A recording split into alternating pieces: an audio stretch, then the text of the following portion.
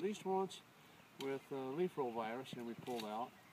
Uh, and that came from infected rootstock in the vine in the winery or the nursery. And then after we replanted again, this block got attacked by cotton root rot, which is a really virulent pathogen for which there is no cure.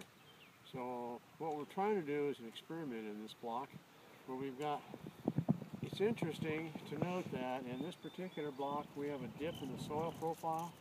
Off the top we've only got about maybe 6 to 10 inches.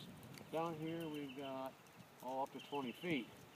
And as you can see along this vineyard row, where the roots were shallow and we hit that caliche um, uh, hard pan, we got cotton root rot. Down here, we don't seem to be affected as bad, so we are now going to experiment.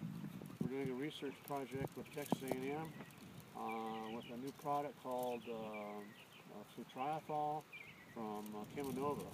And once we get these planted uh, here in the next couple days, we'll inject the uh, uh, in uh, different uh, dosage rates to see if we have any effect on cotton root rot. It's a product that's being used in the cotton farmers with pretty good success. Um, it has not been labeled for grapes, and so this is a research project with Cheminova and Texas A&M, and we're pretty excited about it because uh, without it, we may lose this whole vineyard. So.